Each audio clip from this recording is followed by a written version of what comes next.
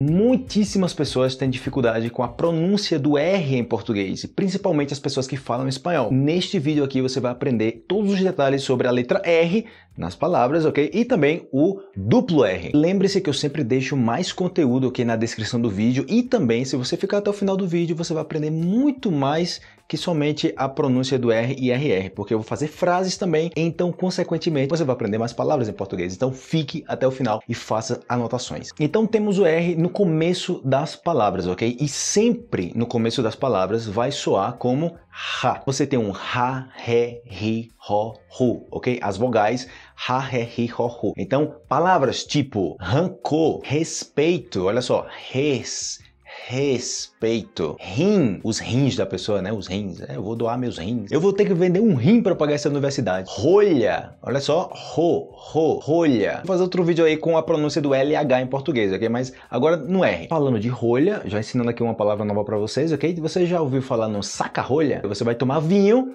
e você tem que ter um saca-rolha para tirar aí a rolha do vinho. Interessantemente, a gente não fala que você vai sacar em português como o verbo sacar, né? Ah, tenho que sacar tal coisa, como sacar. Mas por algum motivo não, a gente não fala tira rolha. Aí você tem um tira rolha? Não, você tem um saca rolha. Acontece a mesma coisa com dinheiro no banco, quando você vai sacar dinheiro no banco. Eu fiz um vídeo sobre tirar em português, ok? Com vários detalhes. Vou deixar também aí na descrição. Então a gente já viu rancor, respeito, rim, rolha e russo. Lembre-se que pronúncia é uma questão de prática, que você tem que repetir várias e várias vezes, não somente ouvindo, mas também falando. Eu sempre digo, não tem como você aprender a cantar somente ouvindo, você tem que cantar, é, é, é um pré-requisito, você tem que fazer isso para conseguir cantar. O idioma é da mesma forma, só aprende a pronúncia se você pronunciar em voz alta, firme e forte, colocar em prática. Daí a gente tem um R entre vogais que é mais parecido com o espanhol, tipo aranha, areia, arisco, aroma, aruba. E claro também no final das palavras, quando a gente tem AR, né? Ar, er, ir, or, U. Por exemplo, mar, lazer, falir, maior, abaju. Diferentemente do espanhol, que o R no final é muito marcado. Por exemplo, se você vai falar mar em espanhol, você sempre vai falar tipo mar, mar, ou até mesmo o verbo correr, você fala correr. Então em português, geralmente o R no final é mais suave, ok? Então você não fala mar. Que mar tão bonito. A gente fala que, que o mar é muito bonito. O mar. É praticamente como se você acentuasse assim no final da, da palavra, né? Tipo, o mar. O mar. O mar? Mar é outra coisa. Mar. Não, o mar. Ah, o mar. Por exemplo, no verbo fazer, é a mesma coisa. Fazer, fazer, ok? Fazer é, mas você vai ouvir no Brasil fazer. Vai fazer o que hoje? Vai fazer. Vai fazer. Como com circunflexo não é. Não existe essa palavra fazer. O er se torna e. E o maior muitas vezes se torna o. Ah, esse é maior. Esse é maior, mas não é maior, é maior. Mas as pessoas falam maior, mas você nunca vai escrever maior, ok? Não vai escrever assim. Você vai escrever maior, mas a pronúncia muitas vezes ah, corta, né? é quase mudo, né? Ou também a palavra lazer. Ah, o que você gosta de fazer assim no momento de lazer? de lazer. De lazer é diferente de laser, ok? Lazer é outra coisa, é momento livre, de diversão, momento que você tá ali para arejar a mente, ok? Para ficar tranquilo, de boa, para relaxar. Muitas vezes você não vai escutar esse R tão forte no final. Olha a palavra que eu falei agora, forte. Aí se você escuta, né? Forte. Não posso deixar de mencionar aqui, né? A questão do R que vocês vão ouvir no Brasil, e dependendo da região que você estiver no Brasil, você pode ouvir uma palavra como porta, que é o mais comum que a gente usa para exemplificar isso. Você vai ouvir porta você vai ver porta, porta, como em espanhol praticamente, ou você vai ver porta, corta, corta, corta. Minha recomendação é que você use a pronúncia mais diferente do espanhol. Nesse caso seria o R francês, né? Tipo porta. Então entre porta, porta, que é praticamente espanhol, né? porta, puerta, porta, e você fala porta, ou você fala porta, assim como por, por, como em São Paulo, interior ali, algumas regiões, né? Ou você fala porta, ok? Fala forte. Tem esses detalhes e até mesmo, imagina, é meio louco isso. Em português você vai ouvir a palavra mesmo, como mesmo. Ah, é o mesmo. É a mesma coisa, é o mesmo. Aí você vai ouvir também, dependendo da região, da maneira que as pessoas falam, informal, mesmo. Ah, é mesmo, isso aqui, isso aqui é mesmo, é mesmo. Meu irmão, meu irmão, meu irmão se torna meu irmão. Meu irmão não sabe o que aconteceu. Meu irmão. Ah, então pega do irmão, né? Tipo, meu irmão meu irmão, meu irmão, meu irmão, meu irmão, meu irmão, meu irmão, meu irmão. Se você falar meu irmão muito rápido, soa como meu irmão. Isso é o português falado no Brasil. Muitas coisas que eu ensino para vocês não se aprende em livros de gramática, ok? Porque ensina as coisas muito formais. Então, quando você aprende de uma maneira mais nativa, é claro, quando você ouvir música, conversar com as pessoas, você se sente em casa, entendeu? Você se sente, cara, eu já vi isso, já sei que o pessoal aqui fala mesmo. Quando eles falam mesmo aqui, é mesmo, na verdade. Meu irmão é meu irmão. Ah, ok, meu irmão, meu irmão. E aí, meu irmão, beleza? Meu irmão.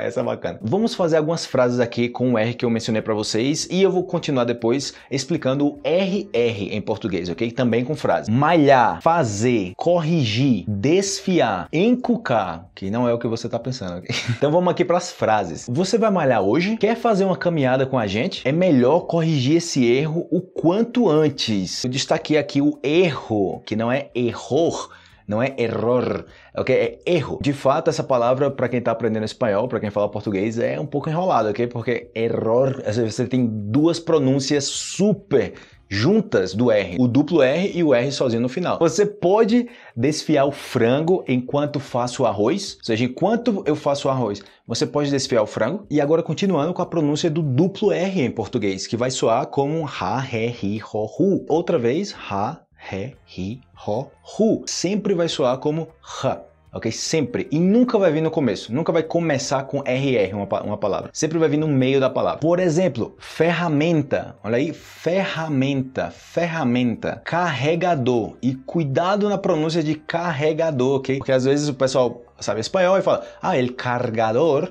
Então, cargador. Cargador. E parece tipo carregador. Então, não fale carregador, ok? Você vai carregador.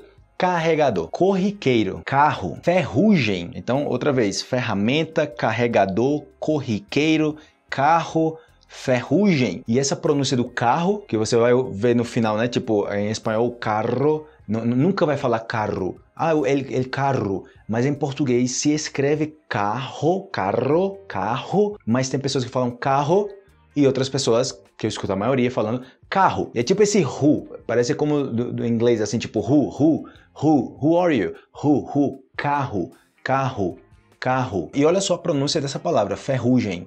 Ferrugem, em, em. Quem fala espanhol vê o M no final e pensa ferrugem, ferrugem.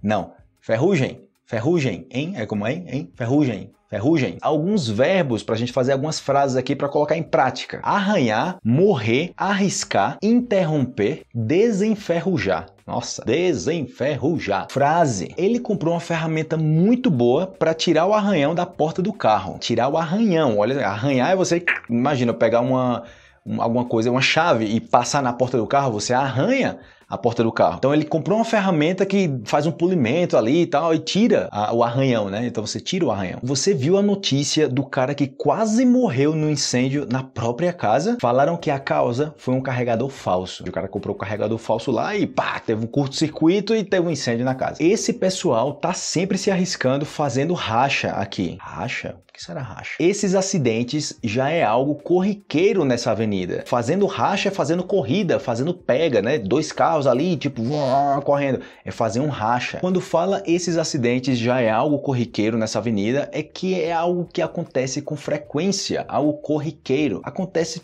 toda hora isso aqui, já é comum acontecer isso. Tivemos que interromper a corrida porque um carro pegou fogo no meio da pista. Pegou fogo, né? Tipo, pegou fogo, incendiou. Nossa, fazia um tempão, olha aí, tempão, muito tempo, né? Fazia um tempão que não andava nessa bicicleta. Nem sabia que estava com tanta ferrugem.